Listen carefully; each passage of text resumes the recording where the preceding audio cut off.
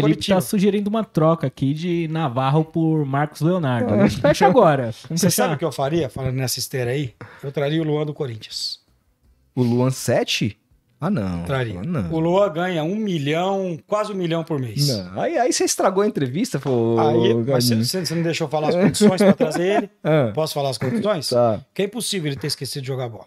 Eu acho que é impossível. Traria até o final do campeonato, com o Corinthians pagando 95% do salário. É, mas aí não compensa pro Corinthians. Quer dizer, bem, se o cara jogar bem, o Corinthians É que minha, revender. é a minha condição. Aí briga um pouco por 90% do salário.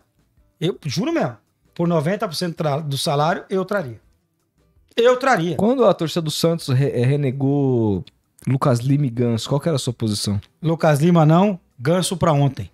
Ah, é? Aqui está um Gansozete. Sou fã de Paulo Henrique Ganso e ele sabe disso. Eu também sou. Ele viria pra jogar com o Diniz.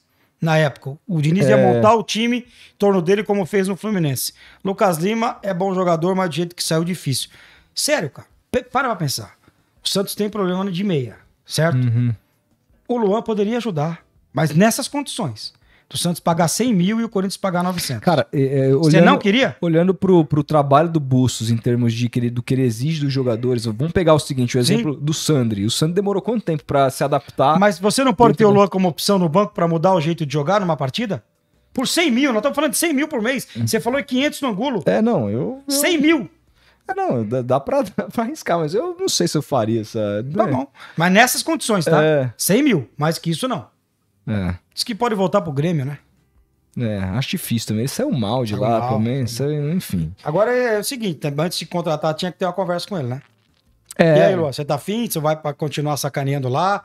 Quer voltar a jogar? No, no olho a olho, você sente qual é do cara também. E eu, eu, tenho, eu temo que a questão dele seja física, cara.